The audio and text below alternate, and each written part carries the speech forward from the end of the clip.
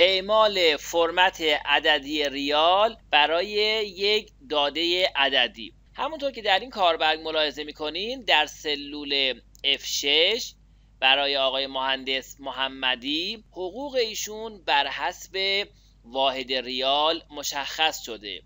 ده میلیون و 500 هزار ریال.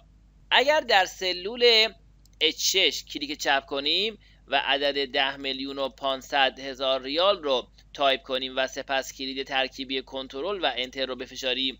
تا در همین سلول قرار بگیریم می‌بینیم که با توجه به اینکه در سربرگ Home در گروه Number اینجا در این لیست بازشو در حالت General قرار داریم میاد برای ما عدد رو بدین گونه درج می‌کنه.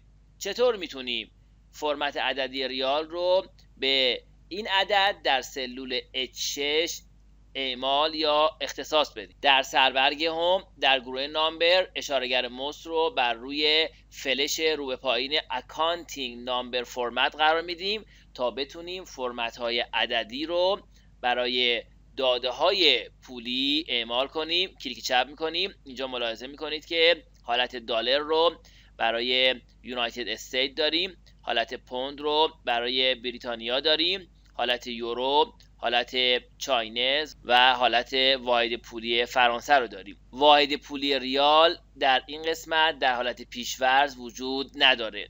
اشارهگر موس رو بر روی more accounting format more به معنای بیشتر قرار میدیم تا به فرمت های پولی بیشتر دسترسی پیدا کنیم. کلیک چپ می‌کنیم. ملاحظه می‌کنید که dialog box Format Cell ظاهر شده. در Category حالت Accounting فعاله.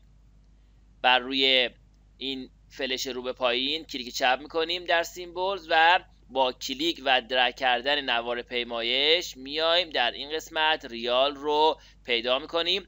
ملاحظه کنید که اینجا Persian Iran ریال رو داره.